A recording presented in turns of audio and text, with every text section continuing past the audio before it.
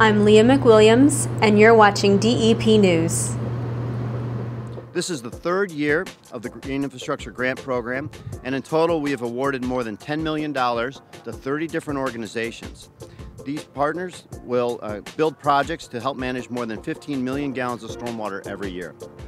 Commissioner Strickland announced on the rooftop of the former Pfizer Inc. building in Brooklyn that 12 community based stormwater management projects have been chosen to receive $4.7 million through the 2013 Green Infrastructure Grant Program. The Pfizer rooftop will be the future home to a 26,550 square foot green roof. DEP recently completed green infrastructure projects in Bushwick, Brooklyn that will improve water quality in Newtown Creek.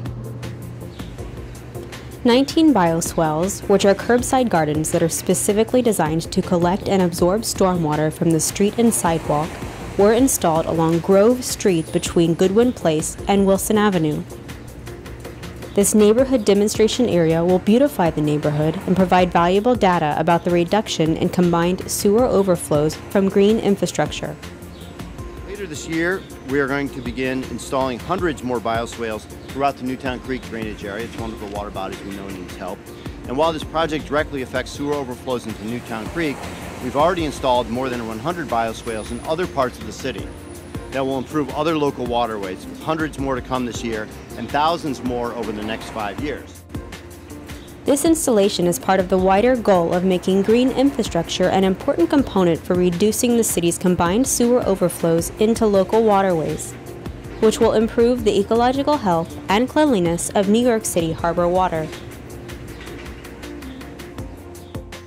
DEP announced the completion of a 2,400 square foot green roof and garden funded in part by DEP's Green Infrastructure Grant Program. These green roofs are part um, of the city's grant program. We have issued $11 million in grants, um, and we um, anticipate a program that ultimately will be $2.4 billion strong. This multi-purpose space located on the roof of the Lenox Hill Neighborhood House on East 70th Street in Manhattan will be used to provide hands-on educational, recreational, and therapeutic programming for the nonprofit's clients. In addition, the specially designed gardens and landscaping will absorb and store more than 4,500 gallons of stormwater each time it rains, keeping it out of the combined sewer system and helping to make the East River and New York Harbor healthier.